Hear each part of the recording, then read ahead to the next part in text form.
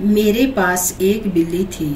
उसको जब भी भूख लगती थी, वो मेरे पैर चाटती थी और मैं उसको खाना दे दिया करता था।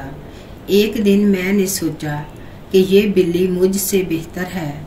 उसको पूरा यकीन है कि अपने मालिक के पास से उसकी तलब पूरी होगी। और इंसान को यकीन नहीं, इंसान हर फ़िक्र अपने ज़िम्मे ले लेता है। उन कामों में भी जो उसके इख्तियार में नहीं। अपनी हर तलब अल्लाह से मांगो और कबूलियत का मकम्मल यकीन रखो।